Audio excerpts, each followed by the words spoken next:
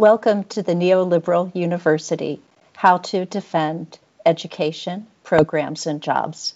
I'm Nancy Welch. I'm a professor at the University of Vermont and a member of UVM United Academics, our faculty union. This webinar is sponsored by Spectre Journal in collaboration with Haymarket Books. Spectre is a new publication and website devoted to creative and emancipatory Marxist theory, analysis, and debate. The latest issue is just hot off the press and features an essay by Robin D.G. Kelley on policing under racial capitalism, Kim Moody with a critical review of Jane McAlevey's model for organizing to build union power, a far ranging interview with Nandita Sharma on the struggle for a world without borders, and never previously published material from the late Neil Davidson. Visit spectrejournal.com to subscribe. If you're already a subscriber, thank you, and consider making a donation. Your support enables Spectre to focus on the critical issues of our time and to do so from a standpoint that is resolutely internationalist and that approaches struggles for oppression against oppression as constitutive of class struggle.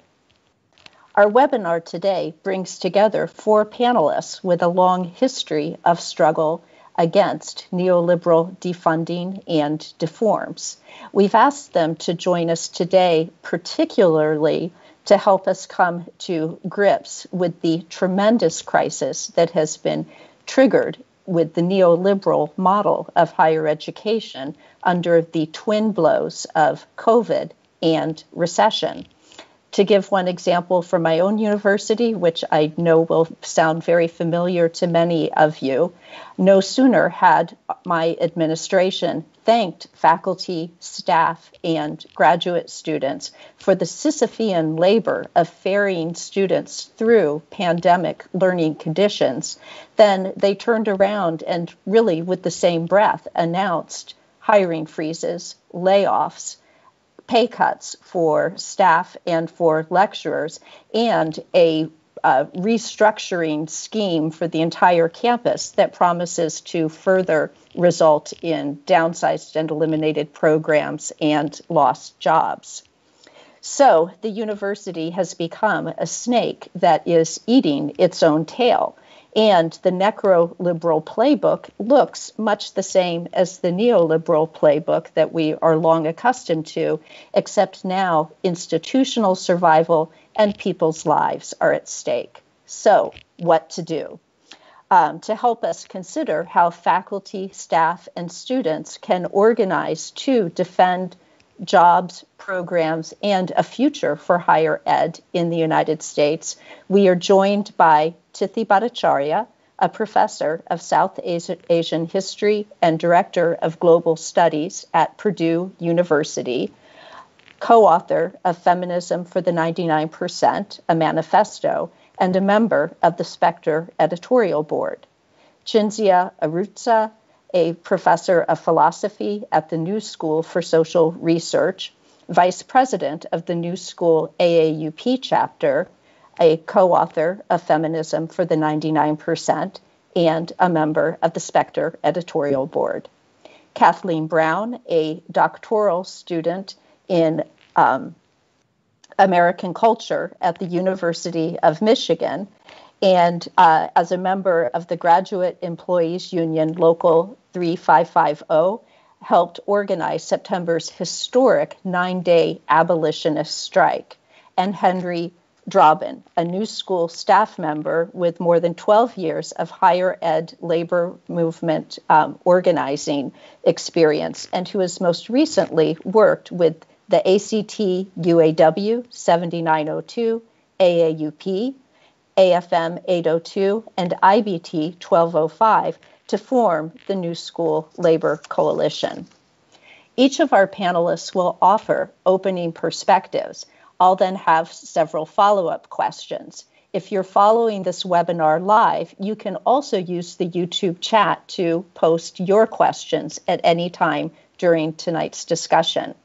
Uh, with that, I'm going to turn the floor over to our panelists for their opening perspectives on our current crisis and the resistance we can um, we can mount against these attacks on education, on jobs, and our lives.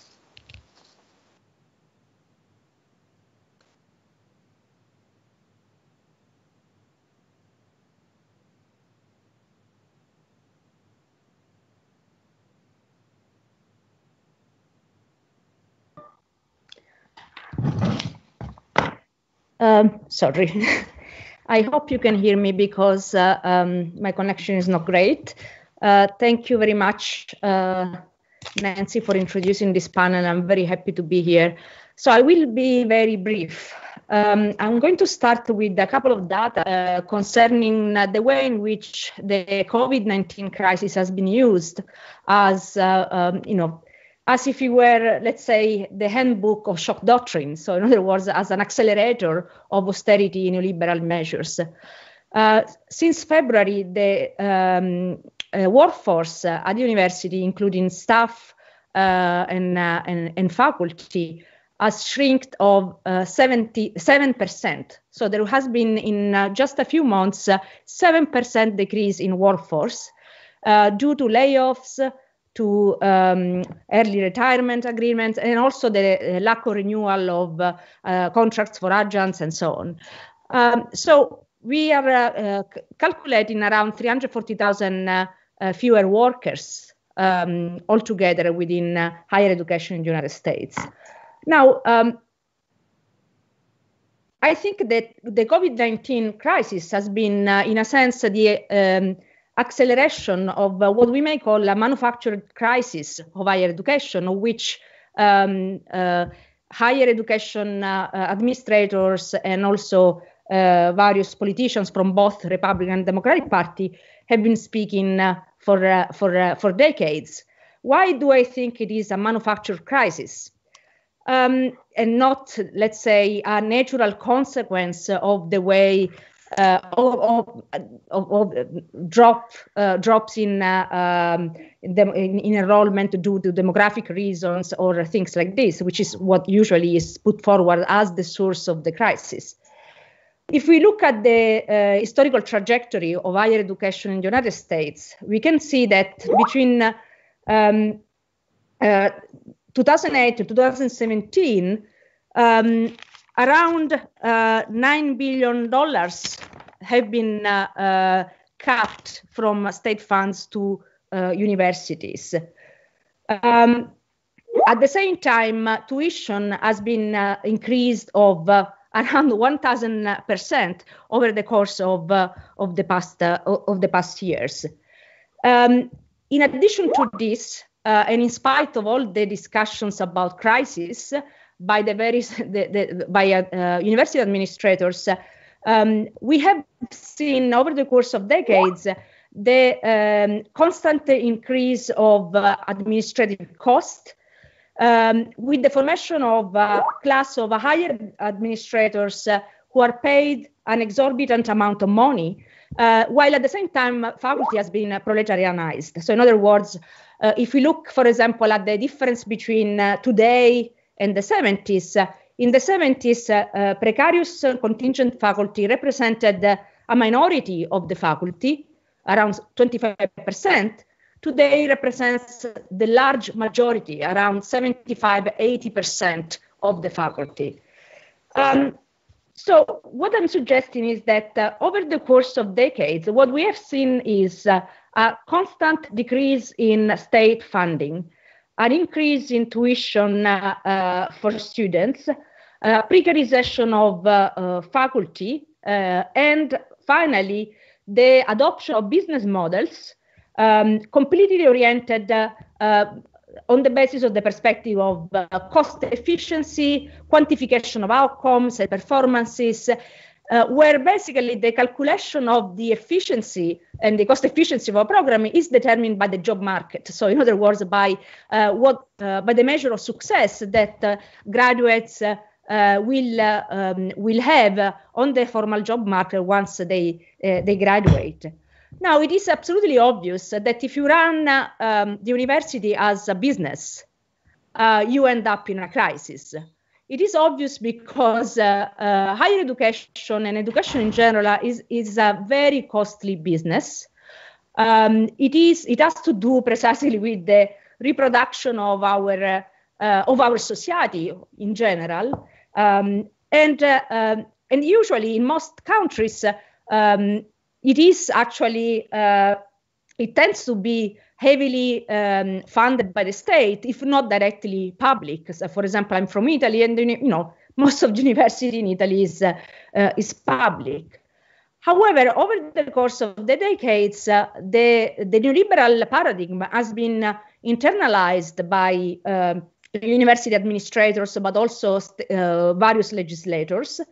Um, and uh, this has uh, this had uh, as as consequence of this situation. On the one hand, again, a situation of constant manufactured crisis.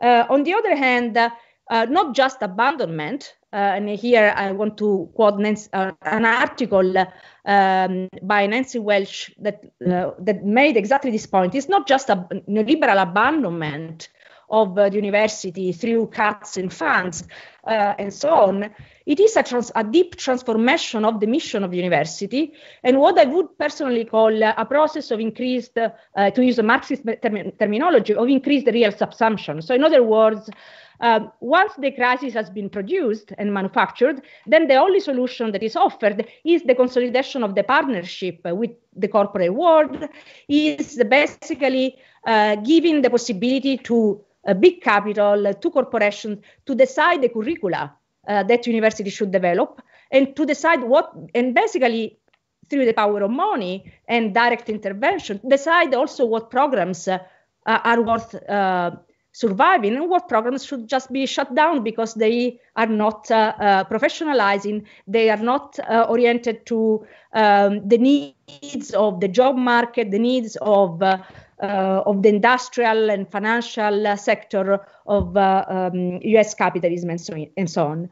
The last thing I wanted to uh, mention has to do with also the um, the disconnected to this uh, point about real increasing real subsumption that it has to do with the, the deep transformation of the very meaning of, of higher education that comes along with these processes.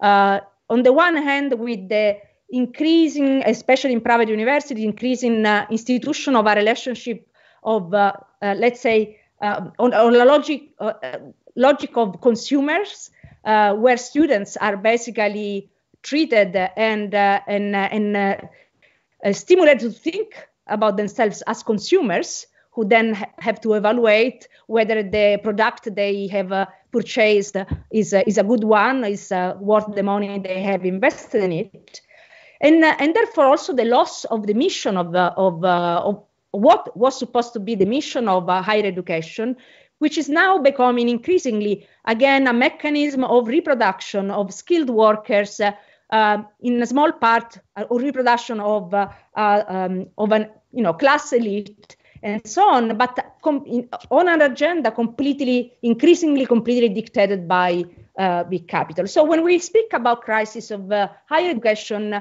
what I would suggest to do is to um, respond to the uh, to the insistence on the naturalness of this crisis as if it, as if it were uh, a, a, fact of nature and we cannot do anything about it besides you know implementing austerity measures and policies. What i would suggest is to uh, rebuke this discourse of, of crisis by speaking of, a different crisis of another crisis which is the crisis of the mission and a public and social role of higher education, which is what we have to uh, fight against, uh, not only to defend labor conditions and the right of students to study, uh, but also to defend what we think the role of higher education should be within a society.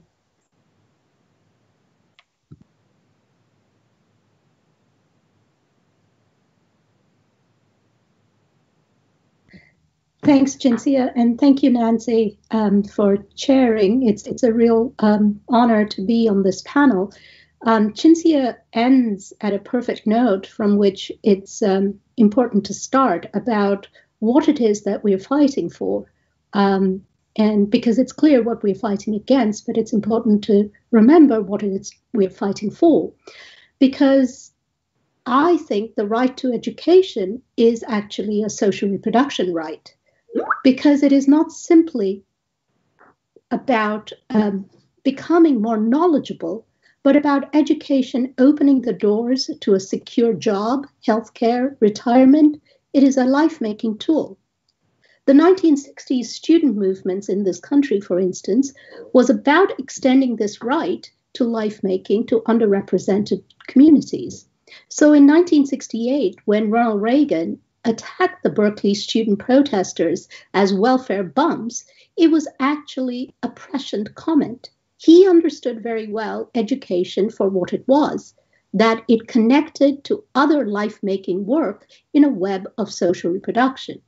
So, this is the project that we are trying to recover now about universities being the center of um, life making and education as a uh, in a in a in a in an effort to find our place back in society. What does the current university look like? One, it is precarious adjuncts, as Cinzia pointed out, teaching debt ridden students. Two, there is a sustained attack on the humanities. And here I want to say that in the name of diversity, we actually have a continued devaluation of anti racism and anti sexism. 50% of students in higher education are currently food insecure, 22% routinely hungry, 64% are housing insecure, with 15% being actually houseless. In between 2004 and 2014, state appropriations per student in public universities dropped 19%, while tuition rose by 42%. Into this hellscape of neoliberal predation comes COVID. What was and remains an unmitigated tragedy for faculty, staff, and students was seen as actually an opportunity for legislators and university administrators. In May, this is May of this year, the Chronicle identified 224 institutions associated with a layoff, a furlough, or a contract non renewal resulting from COVID 19.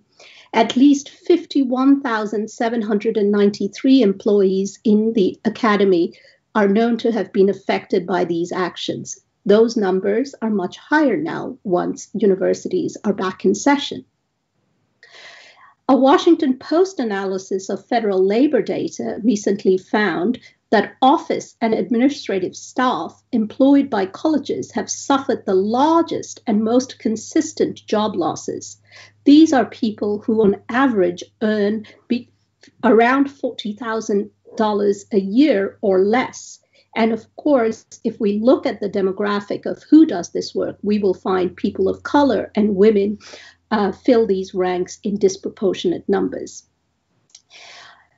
Federal stimulus dollars, of course, helped stem losses at many colleges, but recently, the American Council on Education and other higher ed groups have estimated that this sector needs at least $120 billion in additional support, just to go back to where we were, you know, uh, just, just to keep that in mind. Now, one of the things to keep in mind, I think, in this context is that yes, state and federal funding for higher education has dropped precipitously. But we have to see this also in the context of where state and federal um, authorities are concentrating their funds. State and local spending on prisons and jails has increased at triple the rate of funding for public education for preschool through grade P to 12 education in the last three decades. And this is this is an analysis by the US Department of Education. So, you know, if we did um, an analysis from a left wing group, I think we would find uh, even more stark uh, data there. Purdue, my university, for example, proudly works very closely with Accenture a company which recruits Border Patrol and enhances border security through digital means. This is now an accepted uh, position of this tying in of the neoliberal university with what Nancy has called necropolitics or necro neoliberalism. The, the effect of this um, uh, the effect of this pandemic onto this kind of campus has been absolutely unmitigated trauma for faculty, students, and staff. One of the recent survey um, by this company, Course Hero, of hundreds of faculty found more than 40% of survey respondents considered leaving their job as a result of the COVID 19's impact. Early career faculty members were most likely to be considered leaving, and that number was even more at 48%. What does what has work look like um, in, in for particularly women with caregiving responsibilities during this crisis? By the way, universities have done very little in order to support um, people with caregiving responsibilities through the through the crisis, and so this burden has fallen disproportionately on women, both faculty, staff, and students.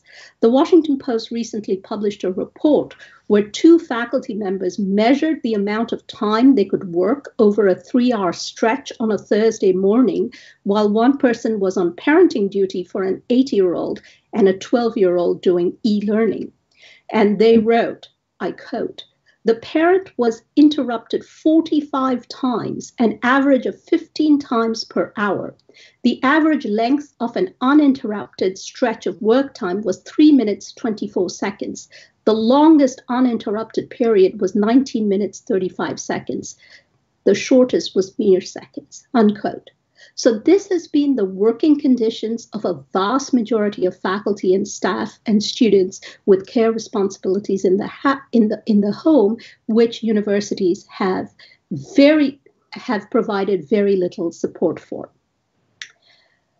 I want to emphasize that while this has been the condition of the vast majority of students in public and private universities, the campus itself is actually sold as a particular kind of neoliberal experience. So, for instance, on my um, college campus, there has been unprecedented levels of building activity where posh um, fa- um, student housing have been built all over the town.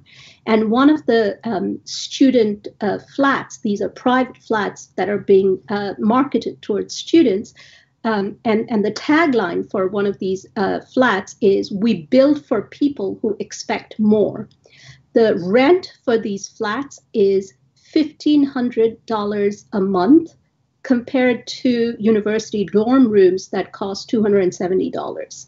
So the university is being, to, to follow up from the question of what the transformation has meant in the last 40 years, that from students, we now are trying very hard to turn them into simply consumers. And this is packaged in terms of the campus life being an experience, the campus housing to have the best gyms and the best workout rooms, and so on.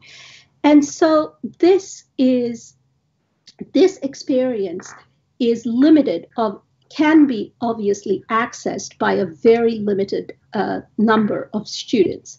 And so this is the winnowing out of higher education from the social contract that the social movements of the 1960s won. Okay, we are not just going to see uh, higher educations turned into neoliberal paradises unless we resist. We are also going to see the demographic of universities change drastically, where only rich white students will be able to access this very, very elite experience of being educated.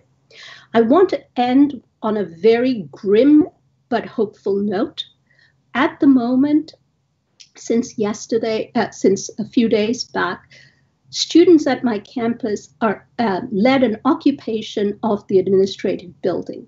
They started this occupation because it came, uh, they came to know one of their peers having committed suicide in recent years. So in, in the recent weeks. So they occupied the um, administration administration building, demanding to know the extent of self harm that students have undergone throughout this last COVID semester.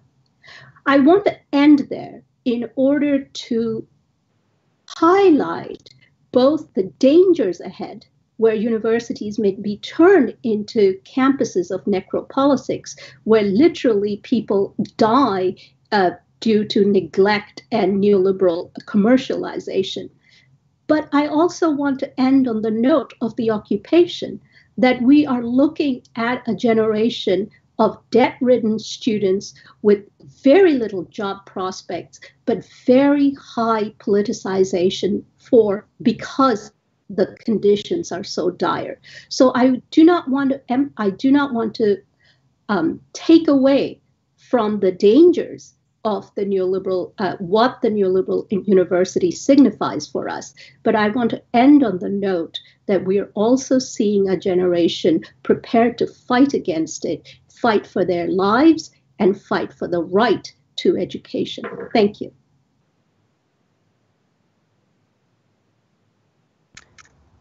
Thank you, Tithi. Thank you, Cinzia.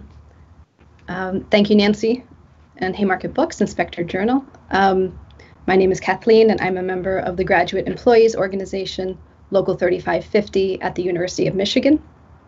We recently uh, went on strike uh, for nine days in the beginning of September, um, fighting for a safe and just campus. And I want to build on some of the points that both uh, Cinzia and Tithi um, have laid out.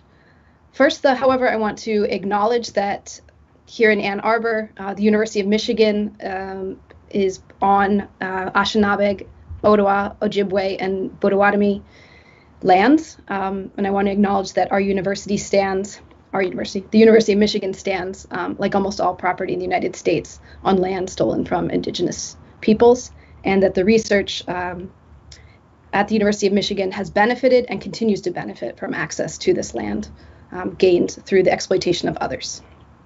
Knowing that doesn't change the past, but uh, a thorough understanding of the ongoing consequences of this past and its colonial present uh, can empower us in our ongoing efforts to see the land return to its original stewards. I also want to recognize the ongoing COVID outbreak that is taking place within Michigan's prisons, where there are currently over 600 positive cases of COVID um, last week alone. Since March, over 77 incarcerated people have died from COVID in Michigan's prisons. And I want to call on the, the Michigan Direct, uh, Department of Corrections to increase the release of imprisoned people. COVID should not be a death sentence.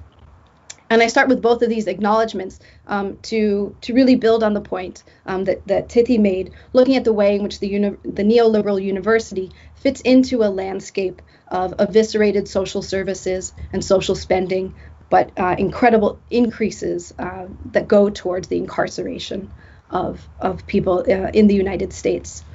Um, this is an important context to consider in our fight uh, against austerity, because in our fight for uh, education and, and, for public goods and social services, um, we have to challenge the um, ongoing logic that has really underwritten uh, mass incarceration in the United States. And that's, I think, part of the project that on one side is the university, the other side is the, the prison, um, and that they are um, really, in, in, in many ways, um, under neoliberalism, um, kind of two sides of, of the same coin. I want to start at the University of Michigan, which is the, the public institution uh, which I, I work and I teach. Um, it's a university of over 45,000 students. It has the third largest endowment of all public universities, recently mm-hmm. clocking in at $12.5 billion. Like other public universities in the neoliberal era, the state, state contributions have dwindled while tuition has soared. In the past 10 years alone, tuition has increased 42%. The university's fin- financial model is really invested and benefits from privatized healthcare Most of its income comes from in the form of high cost elective procedures at Michigan Medicine. And other important revenue streams include unpaid student athlete labor, which generates hundreds of millions of dollars for the university as a Division 1 school, and the tuition fees from international and out of state students, which currently stands at around $50,000 a year. In the early days of the pandemic, the university dramatically announced it was facing between a 400 million to 1 billion dollars shortfall, and it moved immediately into austerity mode, seeking to stabilize elective medical procedures, athletics, and in-person and on-campus university operations to justify its high tuition price tag. At the same time, the University of Michigan outsourced pandemic related fi- financial losses onto workers and students uh, through tuition increases, furloughs, layoffs, which of course exacerbates uh, in class inequality. Austerity measures disproportionately hit non unionized workers, more likely to be women and workers of colors, color, um, and we can see this, for instance, at, at Michigan Medicine, where one of the first acts was to lay off 38 emergency medical technicians in the midst of a pandemic. Those 38 uh, EMTs have not been rehired. We also saw this um, for, at, at, with the layoffs of 40% of lecturers at the Flint campus, which, not coincidentally, um, has a disproportionate number of uh, students of color in comparison to the Ann Arbor campus of the University of Michigan.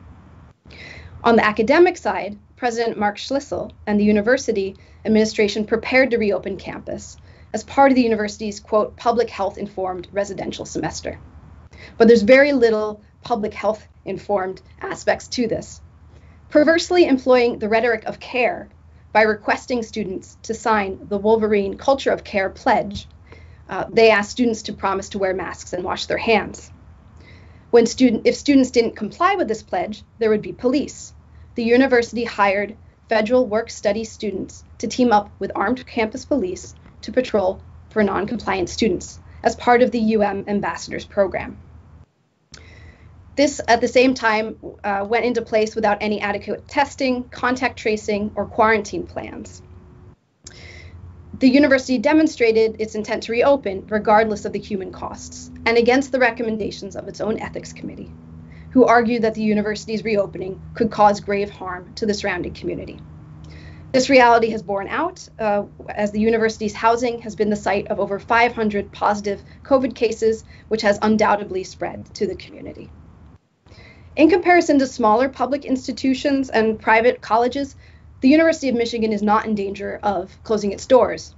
Indeed, the university sees this as an opportunity, um, an ability to expand against competitor institutions that uh, with their $12.5 billion endowment. So it's within this context that the Graduate Employees Organization at the University of Michigan, which represents over 2,000 graduate student workers, went on strike in September. GEO members led an explosive abolitionist strike for a safe and just campus, which was the culmination of months of organizing against the university's opaque and unsafe reopening plans.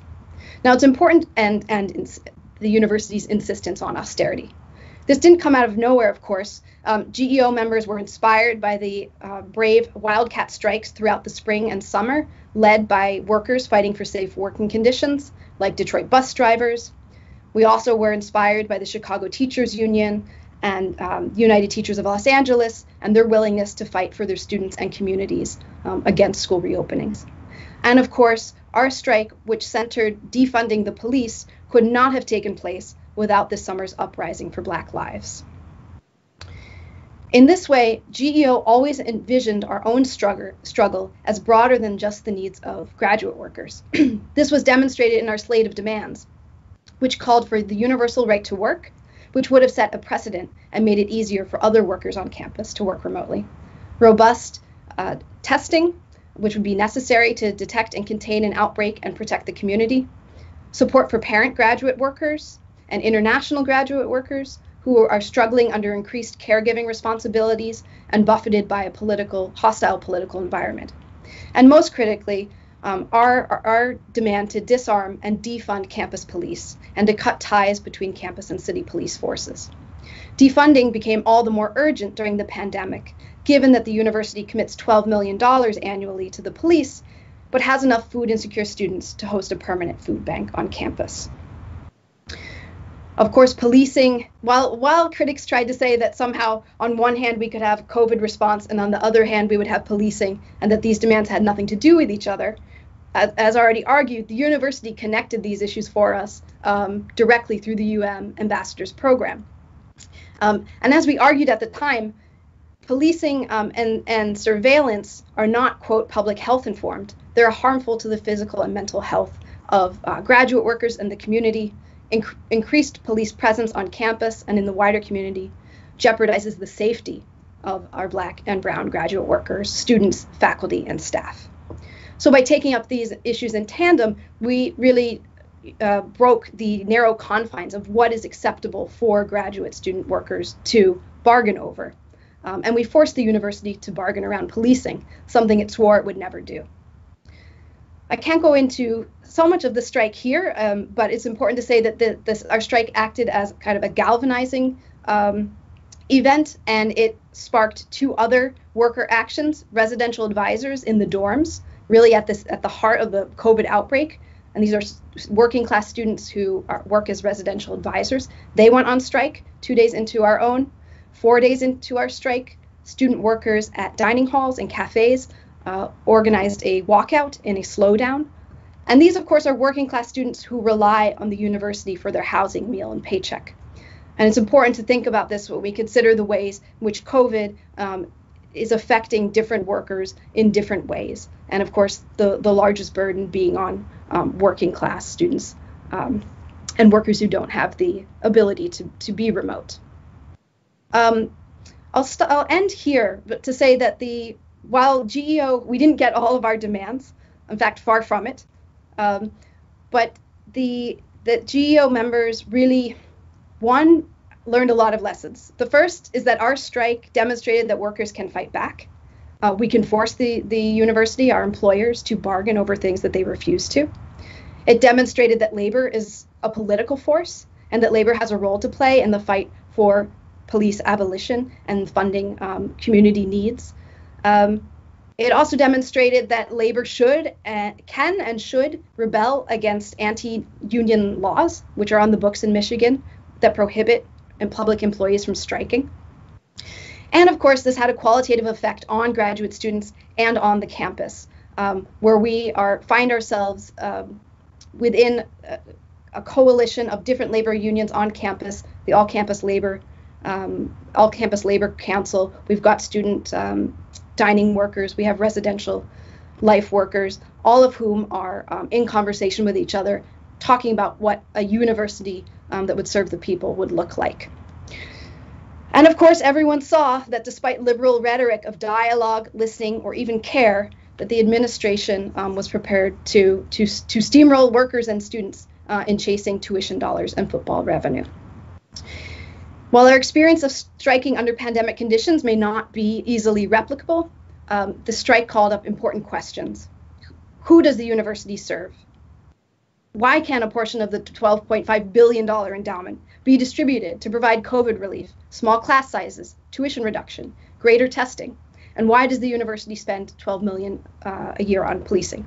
Our strike didn't answer these questions, but begins to put forward a role that labor has to play um, in fighting for a university um, for the greater good. Thank you.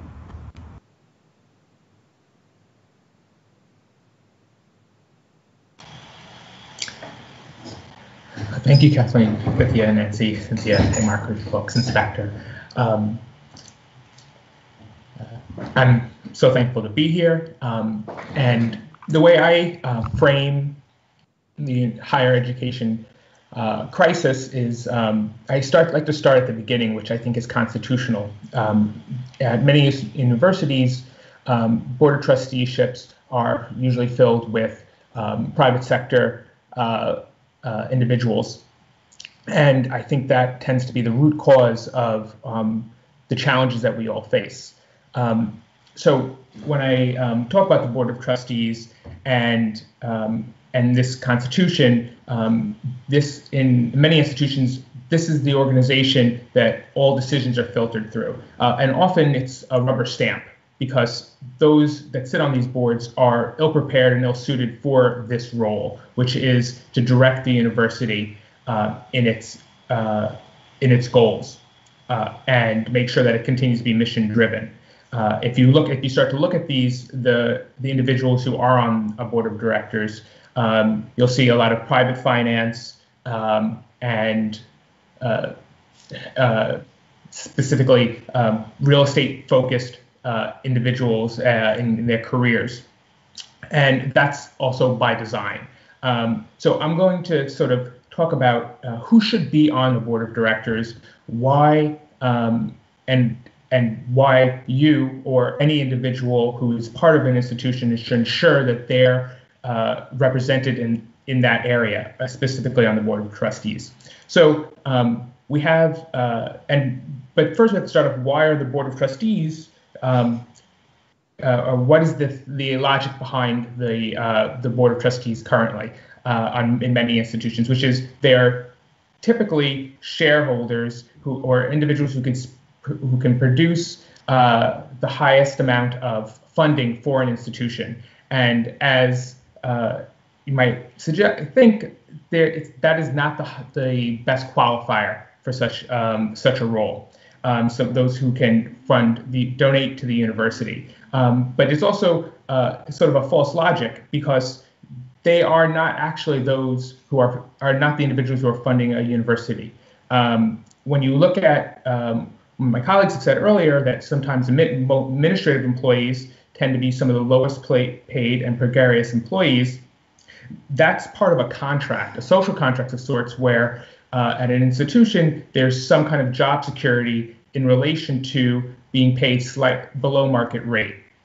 And um, that contract has been in effect for many years, but but the university system and as the as the neoliberal structure has grown has uh, broken that contract.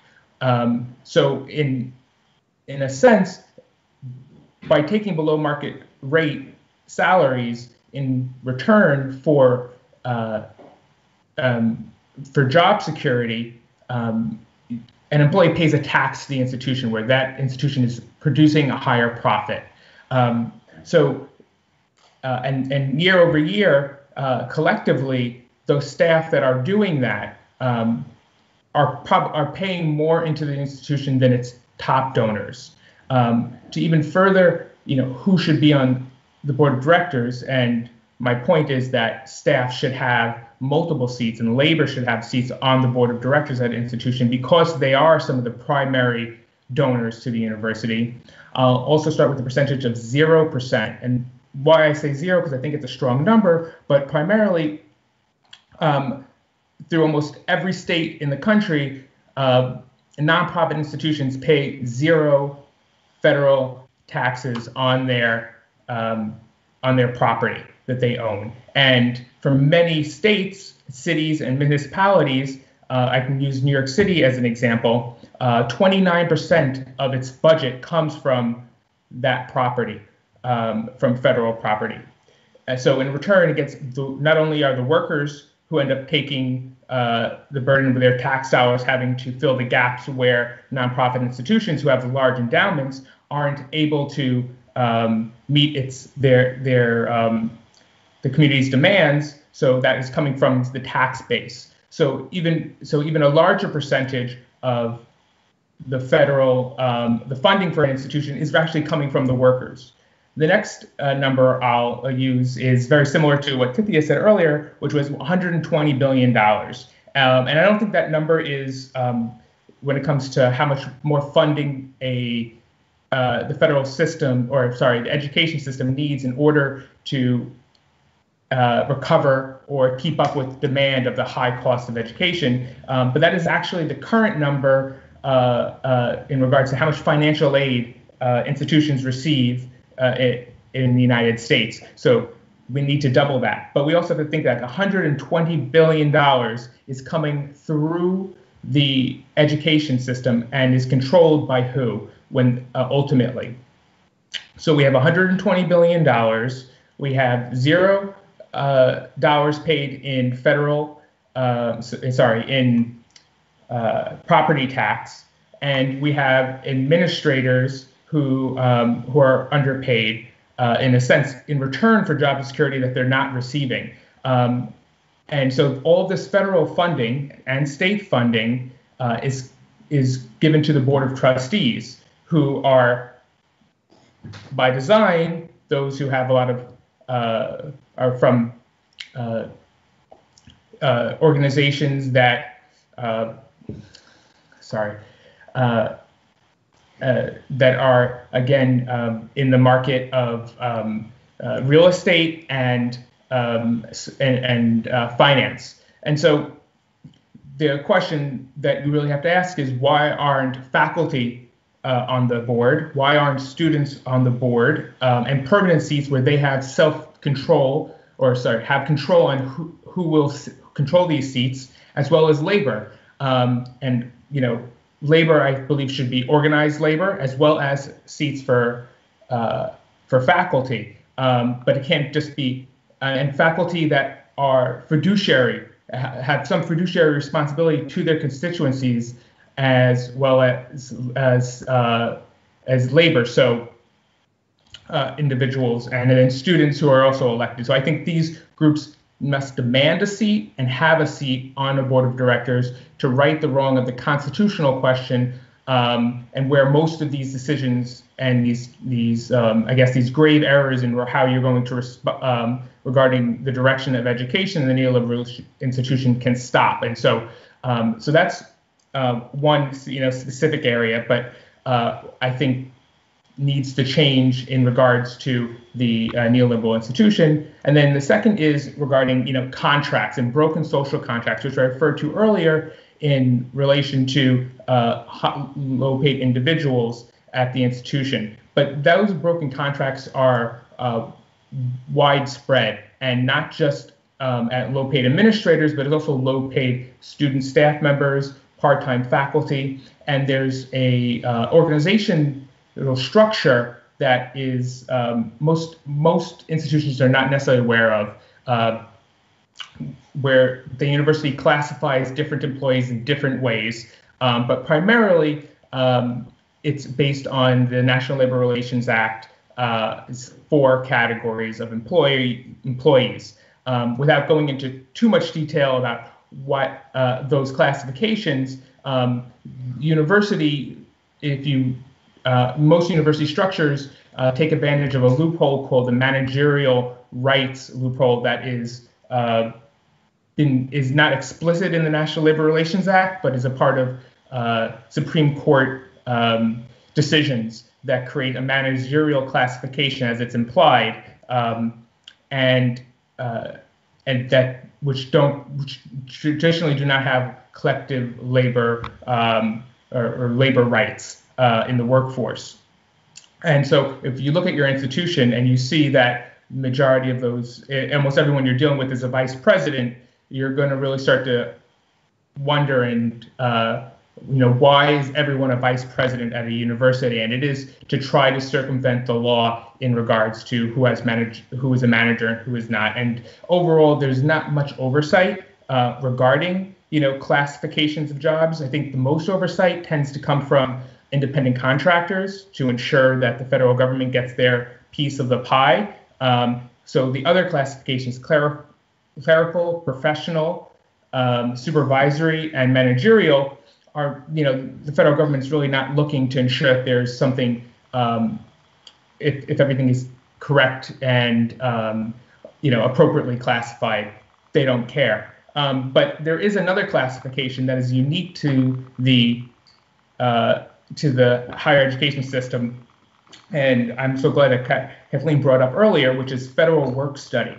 Um, and this is a classification that many people are, may not be aware of, but traditionally it is for qualified individuals receive a grant of, uh, from the federal government uh, to work on campus uh, for uh, a set period, less than 20 hours a week. And that funding um, usually allows, uh, it's given to the institution to, to to deliver to the students, where the institution pays 25 cents on the dollar for every dollar earned by a federal work study employee, and the, the remaining is covered by that federal work study grant. Um, and these workers, this is, is traditionally, uh, and I bring them up because uh, when there are cuts throughout an institution, the real question is where does the work go? And these precarious employees who have almost zero rights because they're uh, because uh, the Higher Education Act uh, prohibits them from getting sick time um, and other benefits as workers' comp, etc., um, are where where the work often goes, which is uh, very precarious employment. But we also have to understand, you know, if you're qualifying for federal work study, you're also, um, you know, uh, falling in a category of a, of a person of color, um, indigenous person, um, et cetera, who have traditionally been um, uh, on the receiving end of uh, these systems. So, uh, my uh, what I see as one of the you know challenges, or at least one way to fight back, is to really understand the systems, uh, look at the look at the core root of them, um, but also under and specifically you know educate yourself on uh, and what um, my local has been doing is on on the Higher Education Act and how it's being imposed on the classification system and ensure that there's parity between positions and uh, throughout universities um, and and also educate you know administrative workers, students, and uh, faculty on how parity and how to how to challenge if there's a lack of parity within positions and to, in order to make sure that there, it's a it's a fair working environment. Um, and then lastly, um, you know, I think it's what's extremely a useful tool is that when it comes to federal work study employees um, and uh, it and the work that they do, that it's governed by the Higher Education Act, which prohibits um, em- employers uh, from using those funds to circumvent collective bargaining agreements, um, which is, uh, you know, the oversight is very limited uh, regarding federal work study, but um, to submit a com- complaint uh, and organize around submitting complaints to ensure that people are appropriately paid for doing uh, uh, uh work. So if a, um, who is consistently in the federal work study classification, um, you can organize around such te- um, such actions. Um, so you know, in conclusion, I think that the you know the nature of the tax on education uh, and jobs really is classification based to try to make work as precarious as possible um, to uh, you know remove staff and faculty from the from the uh, decision making process. And you know as a way of you know resisting this is to make sure that you're part of that process not on advisory boards paper tigers so to speak um, but actually on uh, on the decision making bodies and having a seat at the table which is you know and is an organized focus uh, uh method to ensure that you know everyone is on the same page and working together Thank you, Thank you. to all of our panelists. Um, I wanted to say, just as I was listening um, to all four of your remarks, uh, the the amount of kind of cross-talk, cross-fertilization uh, was just striking to me. And as Henry was speaking, I was reminded of the significant um, student struggles and um, strikes, especially led by uh, working class BIPOC students in the late 1960s, early 1970s, that won the last major expansion, public expansion um, that we saw of higher ed. Those strikes included the demand that faculty, students, staff, and community members, people from the neighborhoods where the schools are, be on the governing boards, that the governing boards be reconstituted um, by and of the people who do the work and who live in and are affected by what the community does in um, uh, what the university does in their communities. I'm going to go straight to um, uh, the um, questions coming in from um, our audience tonight. And um, so I'll um, throw out a first question in a moment, and any of our panelists um, can come in to take that question um, up. And um, and if it's one that you feel like somebody else has already covered, you don't have to come in, um, and we'll um, just um, start going um, going through these.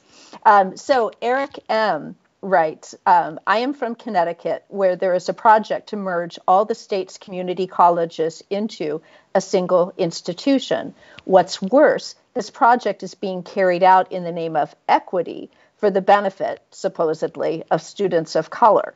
I am hoping the panelists can speak on mergers and consolidations as a tool to restructure and defund public universities in particular. And I think that um, the panelists can think about that both in terms of the kind of restructuring that's happening within your schools and universities, um, and also any moves afoot, such as what we've just recently um, fought off in, in Vermont to consolidate and shut down um, some of the state colleges. So I'll throw that question over to our panelists.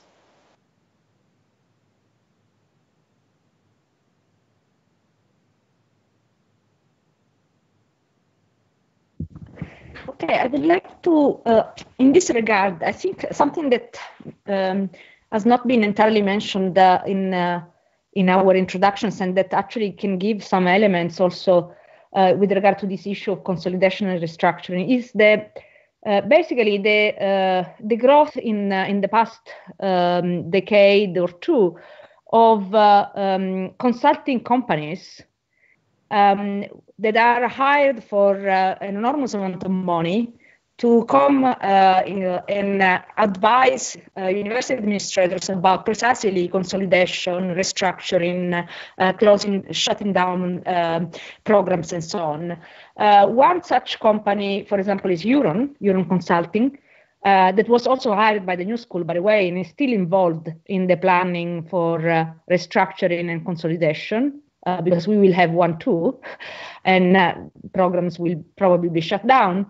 Um, but Huron has been responsible also for uh, um, uh, the restructuring and consolidation in a number of public uh, universities too.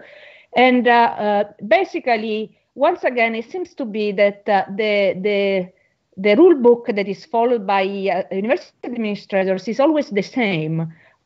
So we, they start with declaring an absolute emergency and um, and crisis, existential crisis, and therefore the necessity of making very hard choices uh, without, you know, respecting holy cows, as uh, they like to say. Uh, I'm really quoting like the language that administrators use. Um, then they bring in uh, external consultants, um, paying them, uh, uh, you know, between five hundred thousand dollars and a million in the middle of the crisis to basically use algorithms to decide to determine on the basis of uh, basically entirely quantitative criteria and criteria that have uh, once again to do with the marketability to decide what programs should be shut down to decide who should be laid off uh, um, who should be offered early retirement and so on.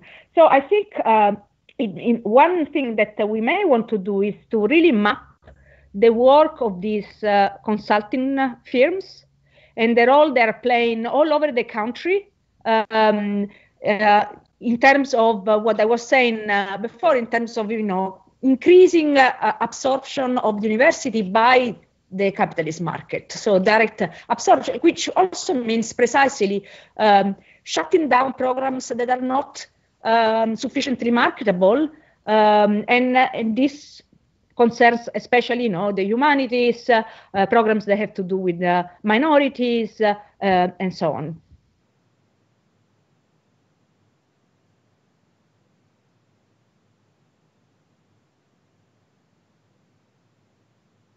Um, okay I'll, I'll just add one tiny thing to that which is actually um, the data on consolidation um, collected so far also shows that the project which the consolidation uh, claim what the project why the consolidation was undertaken does not actually work in the sense that at the University of Maine, for instance, um, they, they tried to consolidate uh, several programs and colleges in order to increase um, rec- um, sorry enrollment, and enrollment actually continued to slide.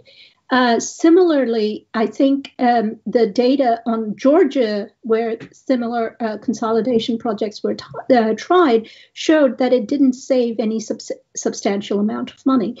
So I think the uh, the data is very unclear on whether, even if we take this sort of neoliberal idea that consolidation is necessary, even on those terms, the consolidation does not actually work. So that's that's one thing to, to say to begin with. The second thing I think is to think about what that means in terms of the effects such consolidation has. And I think the effect, as um, you know, uh, um, uh, pointed out, is to actually sow fear into the campus that you know you step out of line either in terms of your curriculum i.e you're teaching uh, material that questions the neoliberal project or that you step out of line as you know several campuses if you're unionized or whatever then we're going to consolidate and close the programs in the name of fiscal efficiency. That is a term and a phrase we must contest at every stage. Universities are not there to be fiscally efficient. Universities are there to enhance human life quality. To go back to community colleges, I think the project also of neoliberal uh, education right now is to actually um, fill community colleges with the kind of education that produces students simply as technical workers. And so community colleges tend to hire the most precarious of uh, teaching uh, staff and and uh, strip their curriculum of all richness and educational uh, quality as if universities are there simply to produce widgets and those who will fill ultimately, you know, the cogs in some kind of uh, uh, workplace uh, operation. And so I, I, I am anxious about a educational landscape where fancy, important humanities subjects, the, the study of you know, literature, the study of art is considered fancy and is preserved to be taught only at Harvard and Yale because I think these programs will remain. Humanities, rich humanities programs that teach us about the human condition will continue to exist, but it will exist in the Ivy League institutions while the rest of us continue to produce uh, widgets for um, uh, for the workplace you know so i think this this um, idea of consolidation is actually a tool to um, a disciplining tool for those who are straying off the political path, as well as a disciplining tool for um, uh, turning uh, even more the university into a commercial project. Yeah, I would um, just to, to add to that. Um, I, I, do. I think that you know the, the big question we have to ask ourselves is who is education for, and um, and with these restructuring uh, and this, the and the and the pay structure of um, faculty and staff, as well as the, the tuition structure, you know, more and more we're looking at it that it is only for for is only education is is no longer uh, being marketed to um, to a community, but to an elite. And in, in that scenario, um, you know, nobody nobody wins because um, even those who may not be the most successful in um, academia um, certainly uh, still fill the roles of, um, of other underserved communities by bringing these these educational structures um, that may not be you know considered you know in the uh, in the landscape of uh, of uh, corporate America to be the most uh, valued, but um, but certainly have an enormous value to uh, to those communities. Um, such as even even if people end up teaching in high school, and so when we um, when we see those those attacks, that's the beginning of destroying the marketplace um, uh, for for um, uh, for teachers um, at different levels of the education system as well. I would just add that um, thinking about the University of Michigan as it currently stands, um, although it's different than, say, the entire um, Michigan State College system, um, that across the three campuses of Flint, Dearborn, and Ann Arbor, there's incredible inequities. These campuses are supposed to are, are, are supposed to be self-sustaining, and so what does that mean when Ann Arbor which has an enormous amount of wealth. The majority of students um, is getting all of the resources, and Flint and Dearborn um, are asked to to quote unquote stand on their own. Um, and I think that there's that kind of of of logic of of somehow of even just within higher education of this kind of like boot, bootstrap logic which is being applied. Um, I think we absolutely have to to fight fight against. And you know when Tithi was was speaking uh, about the humanities as as a luxury, um, that's certainly what we're seeing when we see state college systems um, and community colleges uh, being undermined um, and producing only technical workers. But it was Audre Lorde who who said poetry is not a luxury, and I think that we need to to bring that into our movement and center that um, in our in our movement. And just with the University of Michigan, it has a lot of money, but its priorities, of course, are not in critical studies. Uh, it is on expanding its business school. It has a, a $300 million project to set up the Detroit Innovative Center in downtown Detroit on what was uh, previously uh, a planned uh, jail. Uh, it will now be the Detroit Innovative uh, System, and that's funded by Stephen Miller. Uh, I'm sorry, not Stephen Miller, Stephen Ross, um, a mega Trump donor. So the ways in which business, of course, is dictating who gets the fancy buildings, who gets the funding, uh, is still very much part of this. And there's no democratic control. The donors are deciding the priorities of the university. Um, and I think that we absolutely need to, to fight for financial con- control of, of our universities. Um, and really, on the state level, um, stop this kind of the deaths, the, the intentional death spiral of what um, administrators are, are putting on onto uh, our public institutions. Thank you. So, another question uh, from the chat. Clearly, whoops, it just went away. Um, clearly, um, the problem of the neoliberal university goes beyond the United States. Are there any examples of successful push up, pushback against the necro neoliberal university, um, particularly in the pandemic conditions, in the rest of the world that we might learn from?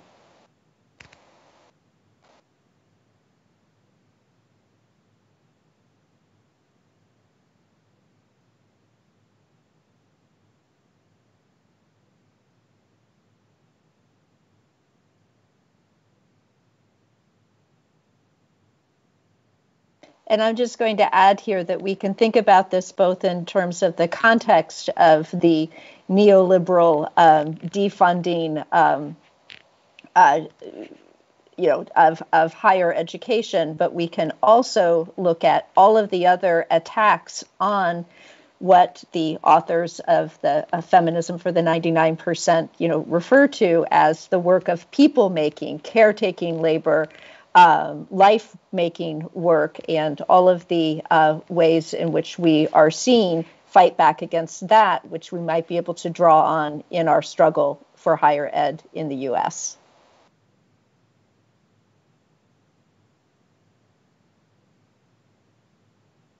For, for me, the example that comes to mind, Nancy, when you when you ask the question about inter, international struggles, is of course um, the successful movement um, in Chile. One of course, of students, I guess, what, two years ago um, in, in their fight against um, tuition hikes, but also more recently uh, in Chile's vote to, to throw out the neoliberal constitution that was in, instituted under um, Pinochet. So I think that that really points to, um, well, of course, the, the international nature uh, of global capitalism, um, but also the, the kind of longer roots that go back to to a system in Chile, of course, which um, at the, at the barrel of a gun enforced these really um, the, the shock doctrine of, of neoliberalism. And so rejection of that um, is really uh, inspiring. I think we should take courage from.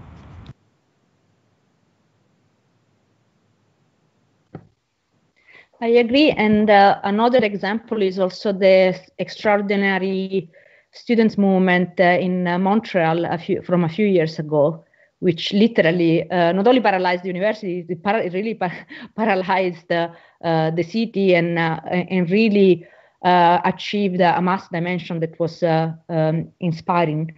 but besides this, I think it would be important also the um, to you know to take into account um, the you know the long history of uh, of students uh, movements, especially um, in uh, in various countries, where uh, um, you know from the from 68 onwards, basically when the where the movements have managed to really um, oppose a certain view of higher education, precisely uh, as Tithi was saying earlier, you know, predicated upon the notion that uh, access to uh, higher education, especially in the arts and humanities, is a luxury and is, should be reserved only for uh, for the ruling class or for, for the elite.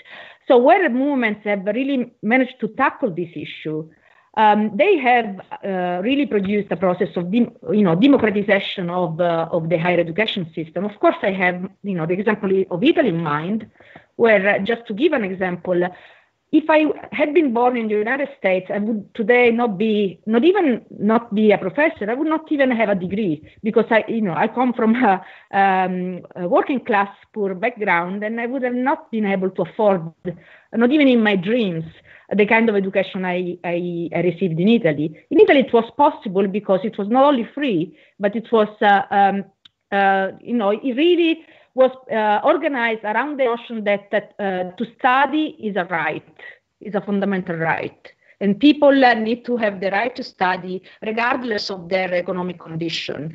Um, so this is what allowed me, you know, some somebody like, like allow somebody like me to to you know to go ahead and study and so on. I'm basically first generation uh, graduate. So um, I think what, something that perhaps needs to be reintroduced in the discussion about higher education in the United States is really the notion that uh, to study is not a privilege. You know, to go back to also what Tithi was saying, to study is a fundamental right and needs to be funded and needs, needs to be protected.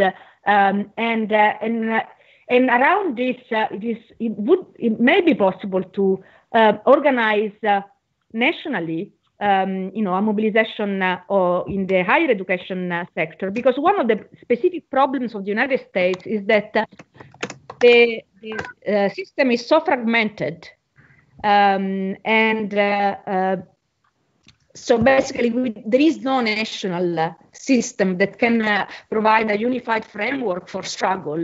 It is extremely fragmented. Administrations are, you know, delocalized and so on. This, of course, and, and also the presence of the private sector that is so strong. Um, produces a, a, further element of fragmentation. So it's much more difficult in the United States to organize a, a, a movement um, for you know free education, for the right to education, uh, and, so, and so on.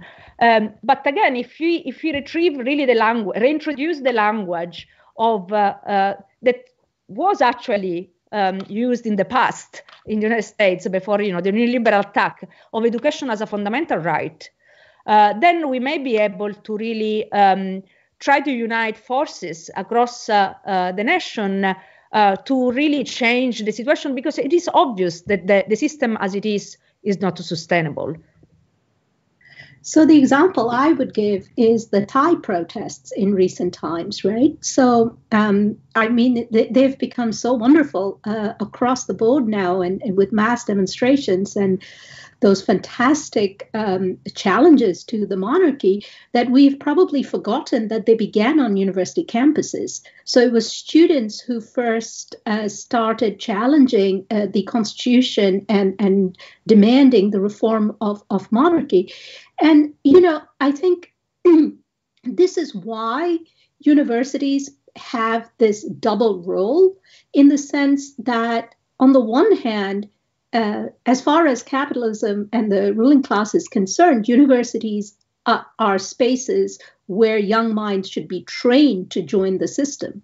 But universities are also where young minds come to learn about ideas and hone their sense of rebellion against the very system, right? So, you know, throughout history, this is why students have always been on the forefront of mass struggles. You know, to, to give you a, a example from the, the, the history I teach, uh, which is India um, the, one of the uh, British administrators, uh, uh, Lord Curzon, in 1905, who tried to partition uh, Bengal, the, the state I come from, and, and you know triggered this mass protest, which actually led him to leave.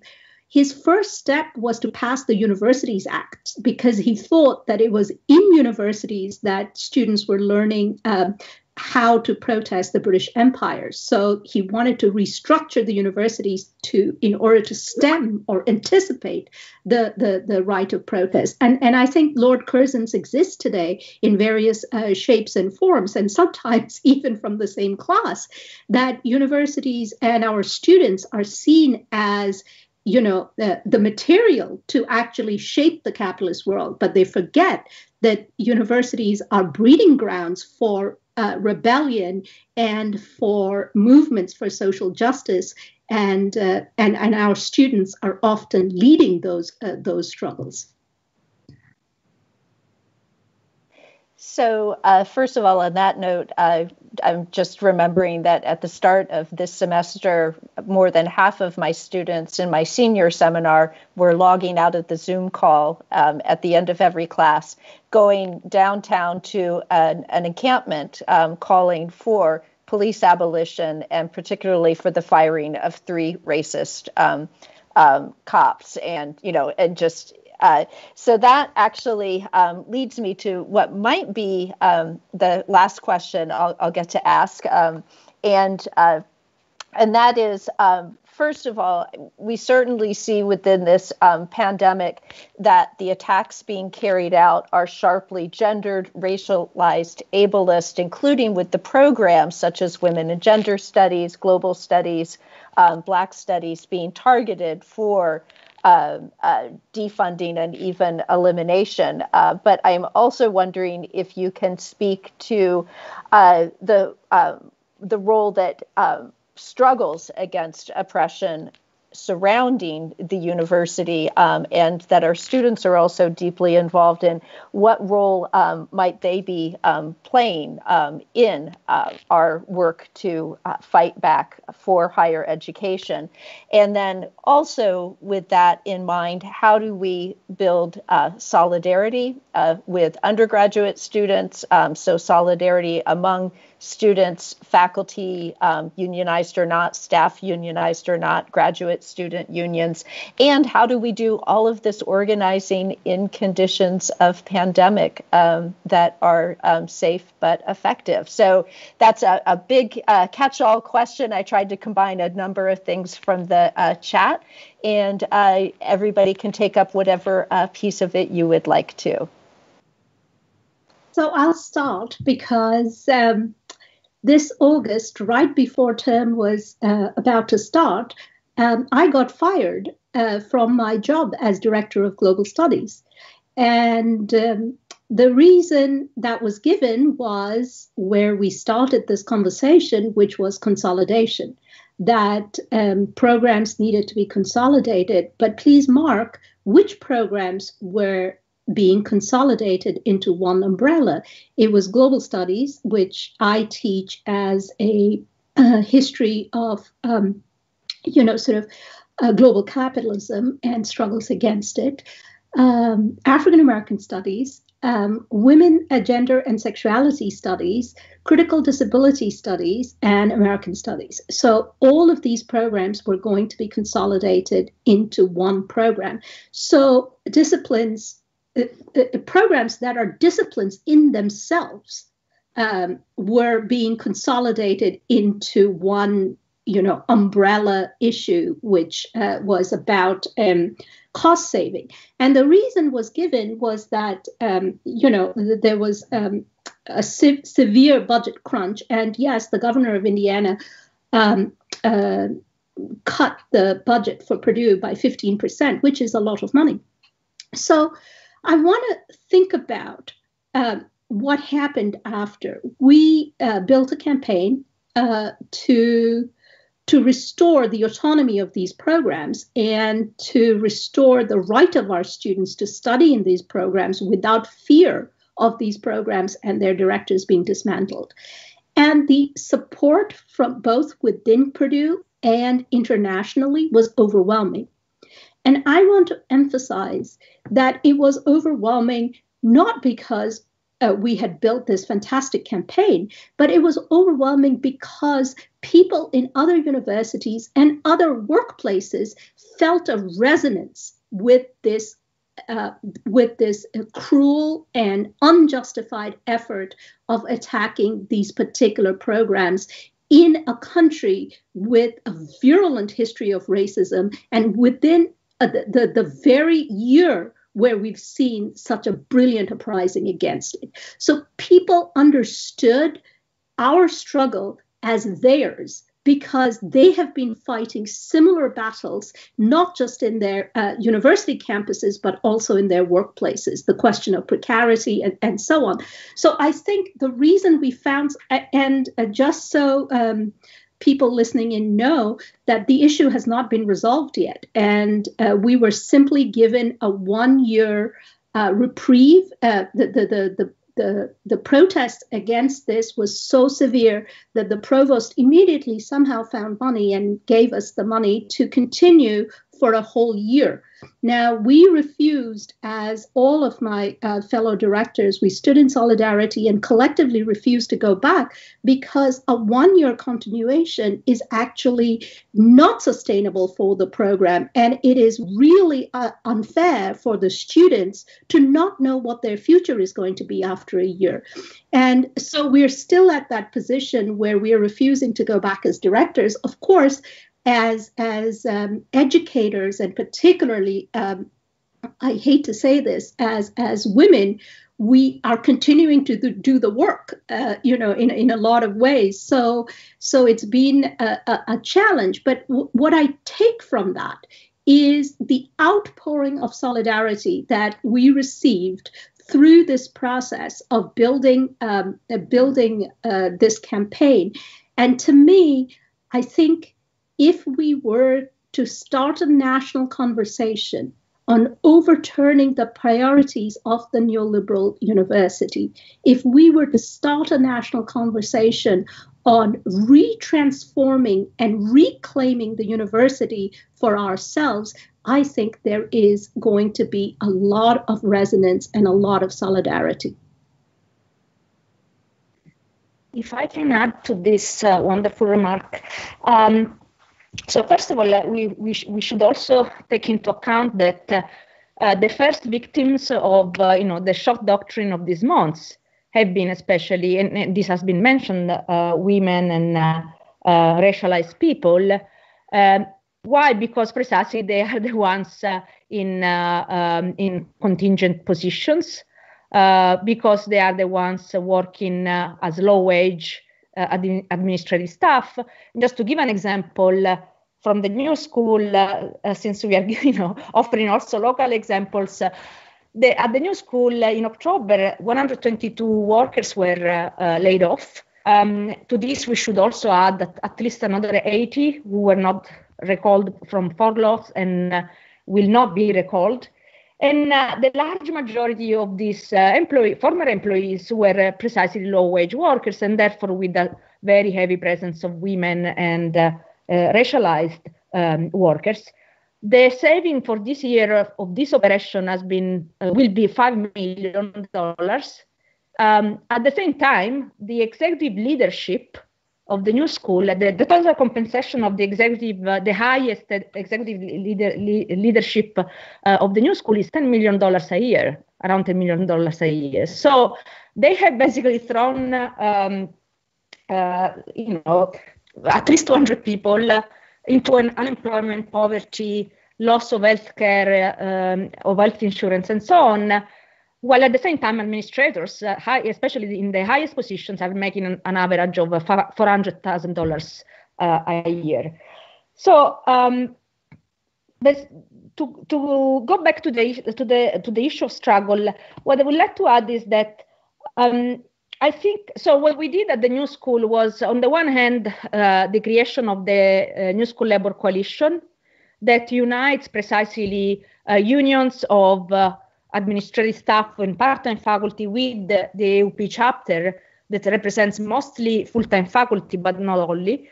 Um, but another uh, um, uh, key um, step, key moment of the struggle we are trying to wage at the new school has to do with activating a process of uh, um, uh, you know, discussion from below and participation from below uh, to, to think together what kind of university we want, so what kind of new, of new school we want. And this process, uh, and we really made a, a, very firm point of this, this process uh, must involve together students, uh, uh, administrative staff, uh, but also, you know, facility workers and so on, and, and faculty at all levels.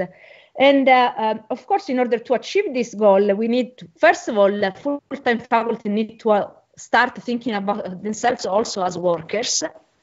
Um, of course, it's, it's, a specific kind of uh, work and so on. We are workers, and that we should be, we should unionize across the country. We should really um, stage a battle about this, and we should really see ourselves uh, as connected, um, not only in solidarity, but also in terms of uh,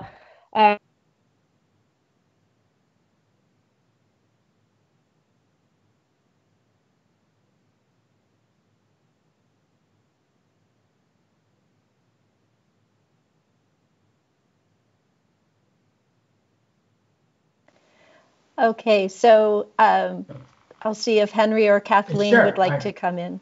If I could uh, quickly um, jump in, um, and I can I can say, um, you know, when it comes to bringing in uh, staff and, and faculty and students to the to the same uh, on the same page, um, our coalition is you know is certainly key to that. Um, but also really bringing in the voice of un, non-unionized labor in and having a conversation that provides for them um, how to push back. Because um, I think that tends to be the fear factor here in um, in after these cuts. You know, who remains is um, an individual who is going to be overworked, especially working from home, uh, trying to navigate um, you know caregiving responsibilities uh, on top of you know numerous other ones. Um, about how to push back, how to maintain safety on the job. Um, and also you know and, and talk to students about you know being overworked and what does that mean? Because that's a conversation that you know the university most universities and education systems are not going to have with their workers. They're really going to say you know absorb the work absorb the work and absorb the work um, of your cut uh, staff. And um, it's the first place to really push back because we do control the labor the the um, and the means of production um, and I know it's very Marxist, but um, at, at, at, the core of um, you know our ability to push back is to um, make sure that work is being done safely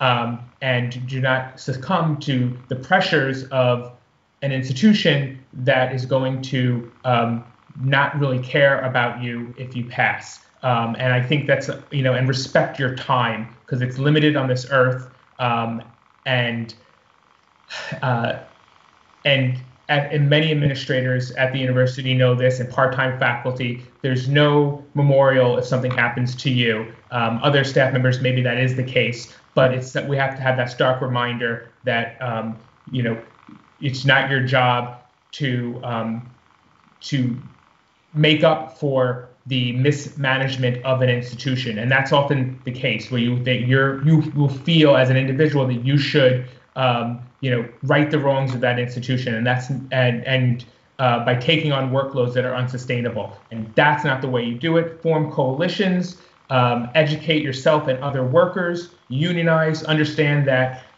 tenured contracts without a union is uh, are very weak and ultimately will not sustain um, you know the, the court systems. Um, and so, you know, it's go back to organized coalition building and attack the core uh, of uh, and of the problem um, across the university. Yeah. I guess I'll end by saying, talking a little bit about um, raising the question of what it what it means to be in a majority white institution um, when and taking on questions of anti-racism, um, questions of anti-blackness, which are very structural to the the institutions and and universities that we that we work in. Um, I think that it's really important with GEO's strike, um, which did seek to defund the police. Um, it's important to note that there's, and as a majority white union, like that there's a, a lot of lessons that we need to learn from our um, comrades of color and centering their experiences and their voices i think is something that came out of this struggle which carries on into others. Um, because as, as, as everyone has laid out the way in which the pandemic um, is affecting workers um, is is different and differentiated based on um, based on many elements of identity. So i think that that's thinking about the way in which the university's response, um, you know, just as one example, um, refusing to offer emergency funding, timeline uh, extensions to graduate workers. There are going to be students um, who have a cushion of, of money and are able to just take that on individually. They're going to skew whiter and wealthier. Um, and so thinking about the way in which the university um, the pandemic response is exacerbating um, racial and, and class inequalities. And for um, workers who are on that campus um, to center that. I think that this struggle, the struggle against neoliberalism, is, of course, an anti racist struggle um, at its heart. We've all kind of spoken about that today. Um, but it's also one that, that within our strike really, really kind of um, expand expanded outwards. And we saw when we were on strike that we got all sorts of um, well wishes and solidarity greetings. Um, and one of the most really moving for me, and getting back to the question of the the, the pandemic and COVID, is that a nurse um, at Michigan Medicine called up and asked what what we wanted, what she could do to support our strike, um, and she donated food. Um, to our strike, and she she donated it in honor of her late father, um, who would have been there. So that to me was a really important moment of, of saying that this is not just about us. This is also, um, of course, about um, nurses at Michigan Medicine, and that it expands beyond us. And I think that that's really important um, moving forward. And I think that taking that um, as our struggle, of course, the old labor slogan, an injury to one is an injury to all. Um, but that has to be uh, continually motivating us.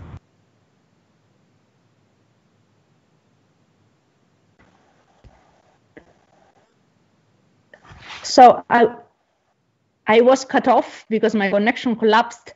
So I was, I'm going to say the last thing I wanted to say, which is that uh, I really believe that um, it is only if we really manage to involve uh, the various constituencies of the um, of the higher education, uh, so together um, faculty, uh, administrative staff, facility workers, and students, that we will be able to uh, fight back against the, the, constant neoliberalization of the university and reclaim a university.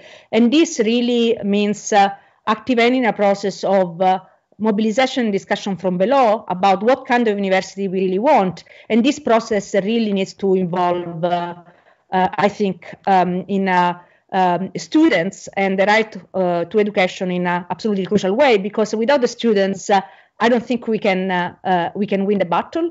Um, at the same time, uh, only student movement would not necessarily address the all the needs and uh, uh, of, you know workers or exploited workers at the university. So we really need to try to frame our battle in such a way as to take into account all the various needs and demands uh, and uh, really come up with uh, with an alternative. So, what is our view and our vision for a university that really um, fulfill uh, its proper mission and is not a machine uh, for the production of skilled workers marketable on the on the labor market. Okay, so uh, thank you, um, Cinzia, Tithi, Kathleen, and Henry, uh, for this uh, in, informative and inspiring um, um, conversation. And on that note of solidarity, but also uh, bringing people together to articulate what our version, our vision of the university is, and how our vision um, is different from uh, what is being imposed. I think it's a, a, great way for us to go forward. I also want to say thank you to Haymarket and to Spectre. This is the first of several webinars that Spectre will be doing over the next um, few months. These webinars, as well as the journal and the website, will draw on and develop the Marxist tradition to address capitalism's multiple crises and to uh, help that new generation of activists to build emancipatory struggle for all of our collective liberation. So, again, I encourage you to go to spectrejournal.com to subscribe and donate. And um, and again, thanks to Spectre, to Haymarket, to our panelists, and to everyone who joined us tonight. Solidarity.